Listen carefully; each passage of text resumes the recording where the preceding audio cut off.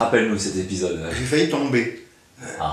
Parce que j'ai été pris de vertige un moment, après un crash. À un moment donné, je me suis craché. Et là, j'ai éprouvé ça vraiment d'une manière très, très, très viscérale. hein. Ça, ça, a été très, ça a été très fort. Mon idée, mais dès, dès les années 60, c'était de, de- de trouver une, une communication gestuelle avec les machines. Ah oui. Ah, ça c'était très net.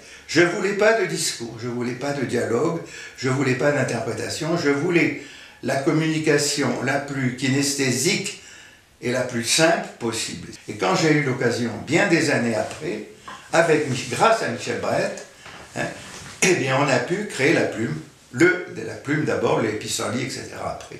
Parce qu'avec la plume, on avait une relation par le souffle. Ben, c'était la première fois qu'on soufflait sur une image. Et c'était ça mon obsession. Souffler sur une image. Pas de parole, pas de texte, pas de commentaire.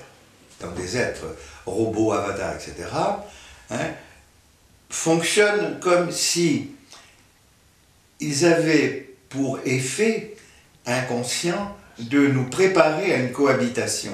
Mon idée, c'est pas que les robots vont être meilleurs, etc., ni que ce seront toujours des esclaves.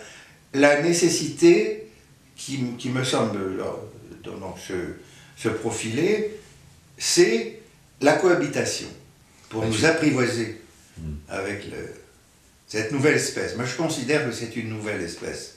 Simondon lui-même qui dit dans, sa, dans ses premières pages, ne soyons pas racistes avec les machines.